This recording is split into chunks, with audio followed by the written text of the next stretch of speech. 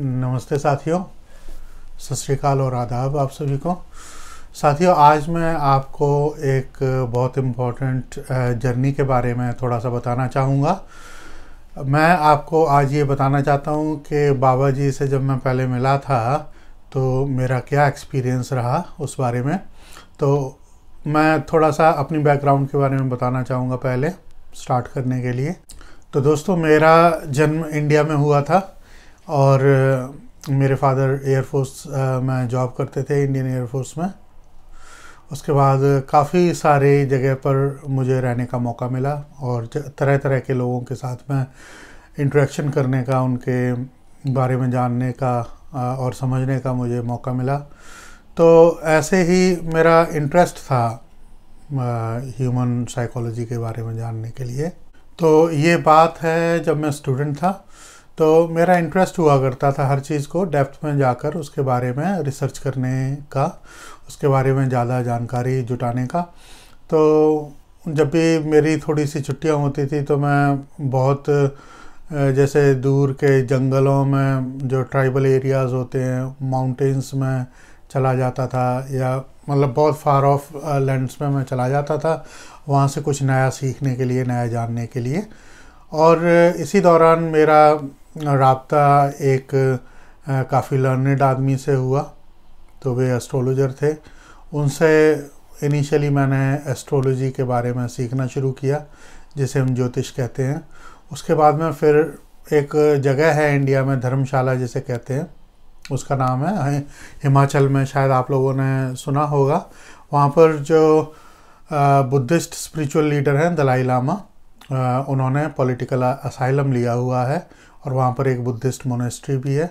तो मैं कई बार वहाँ पर जाकर रहता था और वहाँ पे काफ़ी स्क्रिप्चर्स अवेलेबल होते हैं। एस्ट्रोलॉजी और मिस्टिक साइंसेस के बारे में स्पिरिचुअल स्टडीज़ के बारे में तो मैं अपनी कैपेसिटी के हिसाब से वहाँ पर धीरे धीरे रहकर थोड़ा बहुत सीखता होता था। तो ये बात है जब मैं बहुत ईयर नाइन और ईयर टेन में था, तब उस उस दौरान की बात है।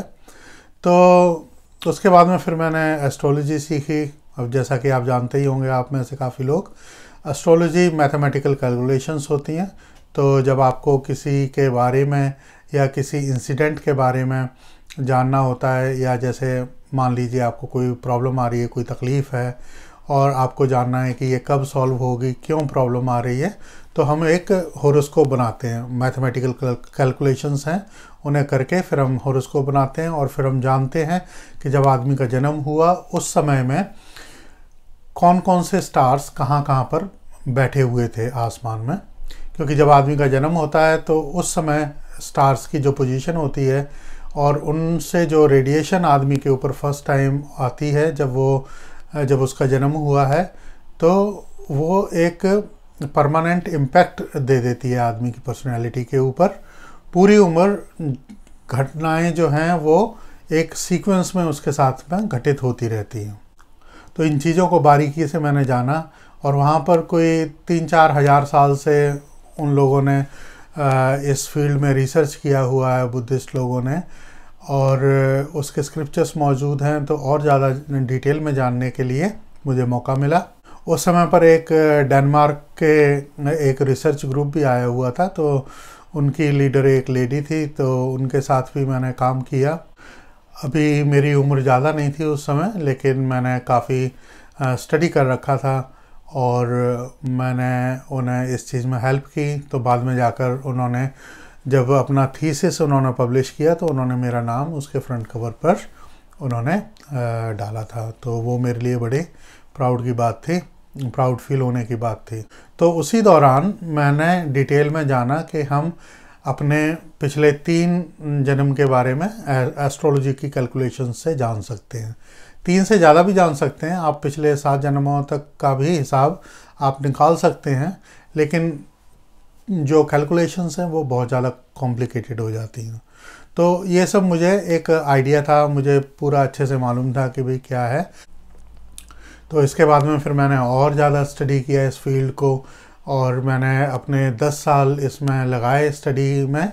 उसके बाद में ईयर 2000 से फिर मैं अपनी रीडिंग्स देने लगा और मैं लोगों को एस्ट्रोलॉजी से रिलेटेड कंसल्टेशन और आ, उन्हें अगर कोई प्रॉब्लम है तो उससे रिलेटेड सॉल्यूशंस वगैरह ये मैं प्रोवाइड करने लगा और vastu shastra Lal Kitab numerology palmistry healing और एस्ट्रोलॉजी से रिलेटेड मैंने काम किया।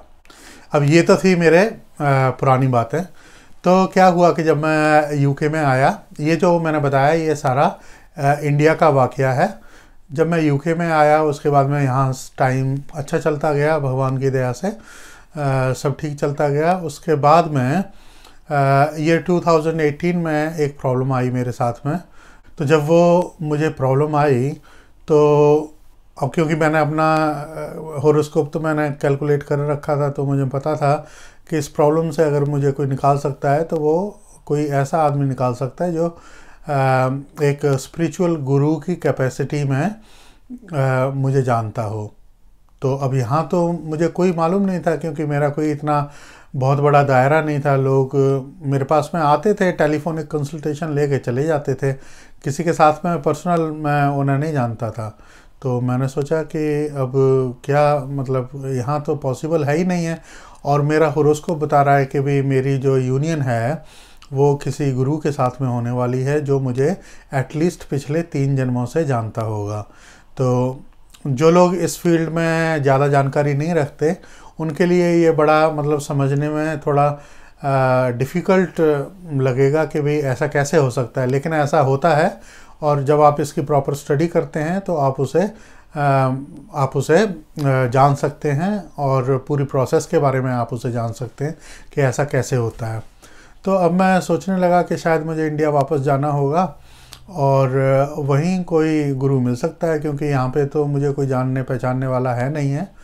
तो कुदरती मुझे किसी ने बताया कि न्यू कासल में वहाँ पे बाबा जी हैं, उनके पास में आप जाइए। उन्होंने काफ़ी तरह के उन्होंने मिस्टिक साइंसेस को उन्होंने लर्न किया है और कीनिया से हैं बेसिकली उन्होंने वूडू के बारे में भी उन्हें जानकारी है और जितने भी जो तांत्रिक विधियाँ होती हैं, तांत्रिक रिचुअल्स होते हैं शमनिक प्रैक्टिसेस जो होती हैं, उनके बारे में भी उन्हें काफ़ी डिटेल में नॉलेज है।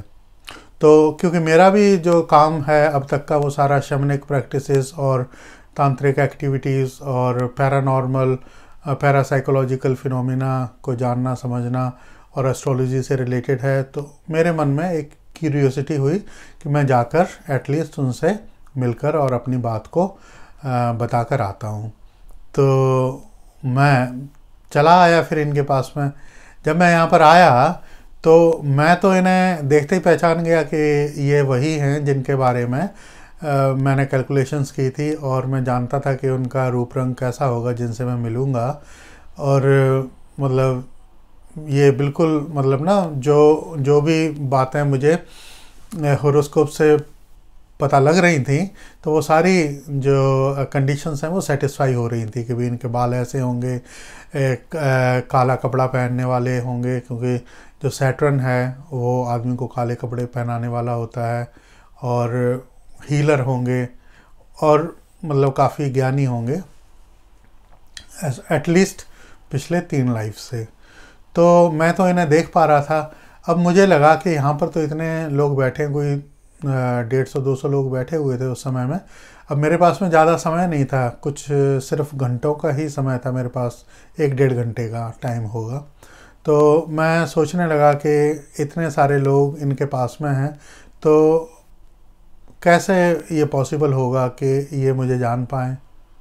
और बस मैं यही सोच रहा था मन में तभी बाबा जी ने मुझे इतनी बड़ी भीड़ में से उठा लिया। आप मानेंगे नहीं मुझे बड़ी हैरानी होती है कि भी चलो ठीक है मैंने तो कैलकुलेशंस करके जो फाइंड आउट करना था आ, मैंने उस बेसिस पे फाइंड आउट कर लिया लेकिन इन्होंने कैसे मुझे इतनी बड़ी भीड़ के बीच में से पहचान लिया कि हाँ यही है वो आदमी? और जब इनके साथ में बातचीत हुई डिटेल में, जब इनके पर्सनली मैंने जानना शुरू किया तो मुझे पता लगा कि राजस्थान में एक जगह है जो गोगा मेडी कहा जाता है उस जगह को। वो कोई फ़ेमस जगह नहीं है, कोई नहीं जानता मतलब अब तक की लाइफ में। पैंतालीस साल में मैंने तो कोई नहीं देखा जो उस जगह के बारे में जानता हो। हाँ इंडिया में हो सकता है कि आपको हज़ार में से कोई दस लोग ऐसे मिलें जिन्हें उस जगह के बारे में जानकारी हो। तो जब मैं इनसे बात कर रहा था तो इन्होंने आ, उनका भी ज़िक्र किया गोगा मेडी गोरखनाथ जी और मचंद्र नाथ जिन्हें मत्स्येंद्र नाथ भी कहते हैं। और ये जो पूरा नाथ संप्रदाय है तो इसके बारे में उन्होंने डिटेल में बताया मुझे और ये भी बताया कि भाई आपका आपके ख़ानदान में इन इनकी पूजा होती है और आप इनके वंश से आए हुए हो जो कि बिल्कुल सच्चाई वाली बात थी बिल्कुल सही बात थी वो। तो मुझे खैर हैरानी तो नहीं हुई क्योंकि मुझे पता था कि भाई ये आ, मैं इस टाइम मतलब अपने गुरु के, आ, से मुखातिब हूँ गुरु से फेस टू फेस हूँ तो जो बातें मुझे अपने बारे में भी नहीं पता होंगी वो भी इन्हें मेरे बारे में मालूम होंगी। तो एक क्यूरियोसिटी का इन्वायरमेंट था अच्छा भी लग रहा था और थोड़ा हैरानी भी हो रही थी कि भाई ऐसा कैसे हो सकता है कि भाई आपको कोई आदमी इतना अच्छे से मतलब जानता हो? क्योंकि आज तक तो मैं ही दूसरों के बारे में उनका पास्ट और फ्यूचर बताता होता था, लेकिन ये फ़र्स्ट टाइम था जब किसी गुरु से मेरा सामना हुआ और वो मुझे ऐसे पढ़ रहे थे जैसे कोई आदमी एक किताब को पढ़ रहा होता। है step by step less chapter by chapter lessons by lesson तो एक बड़ा अच्छा अनुभव था। हमें पता ही नहीं लगा कब सारा टाइम बीत गया। काफ़ी चीज़ों के बारे में हमने डिटेल में रिसर्च किया उस दिन बैठकर। और खैर टाइम ख़त्म हो गया तो मुझे वापस आना पड़ा। फिर उसके बाद में जब मैं घर वापस आया तो उस टाइम पे मैं मैनचेस्टर में रहता था और बाबा जी न्यू कासल में रहते हैं, आप सभी को पता होगा। तो कोई चार पाँच घंटे की जर्नी थी, मैं वापस आया। और मैं सोचने लगा कि शायद अब तो आगे कभी मौका भी ना मिले जाने का। कुछ दिनों के बारे में फिर मुझे आ, सपनों में इंस्ट्रक्शंस आने लग पड़े बाबा जी के थ्रू और एक कम्युनिकेशन चैनल जैसे हम कहते हैं ना गुरु और डिसाइपल के बीच में एक वो स्ट्रॉन्ग कम्युनिकेशन चैनल स्टार्ट हो गया। और कई बार तो ऐसा होता था कि हमें फ़ोन करने की भी ज़रूरत नहीं पड़ती होती थी। बाबा जी ने उधर से जो कहा, वो मैं इधर सपनों में उस मैसेज को उसे रिसीव कर लिया करता था। तो ऐसे चलता रहा। फिर मैंने सोचा, मैंने कहा कि नहीं, मैं दोबारा फिर जाके आऊँगा। फिर मैं काफ़ी बार, कोई पाँच सात बार फिर मैं फ्रिक्वेंटली बाबा जी से मिलने के लिए आया। उसके बाद मैं बाबा जी ने मुझे सिद्धियों के बारे में और ज़्यादा डिटेल में बताया। तो क्योंकि मेरी बैकग्राउंड इस फ़ील्ड की है तो मैं अच्छे से उसे समझ पाया। ये मेरी खुशकिस्मती है। I am thankful to God for this तो काफ़ी नई चीज़ें मैंने सीखी, और स्पेशली हीलिंग के बारे में मैंने काफ़ी चीज़ें बाबा जी से सीखी, और एक बड़ा रिमार्केबल टाइम हम, हमने स्पेंड किया।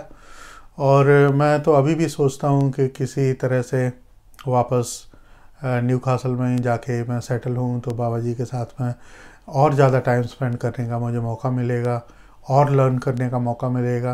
लेकिन यहाँ पे हैरानी की बात यह है कि जो कुछ मैं कैलकुलेट करके निकालता हूँ बाबा जी उसे बिना बिना किसी कैलकुलेशंस के, वे सिर्फ़ आदमी को देखकर और वे बता देते हैं, जो कि बड़ी इंट्रीगिंग चीज़ है, बहुत हैरान कर देने वाली चीज़ है, क्योंकि एक स्टेज ऐसी आती है, मैंने पढ़ रखा है इस बारे में, कि जब आप स्पिरिचुअलिटी की तरफ़ निकल जाते हैं, जब आप अध्यात्म में चले जाते हैं रूहानी जर्नी पे आप चल पड़ते हैं तो एक स्टेज आती है जहाँ आपको कैलकुलेशंस की ज़रूरत नहीं होती। आप आदमी को छू कर उसके आँखों में झाँक कर उसके फ़िज़िकल अपीरेंस को देख कर आप सारी बातें जान सकते हैं और उसका इलाज भी कर सकते हैं। आप उसे हीलिंग दे सकते हैं आप अपनी पॉजिटिव एनर्जी उसमें ट्रांसफ़र कर सकते हैं। तो, तो ये सब चीज़ें लर्न करने का जो मुझे सौभाग्य मिला वो बाबा जी के पास आकर मुझे मिला।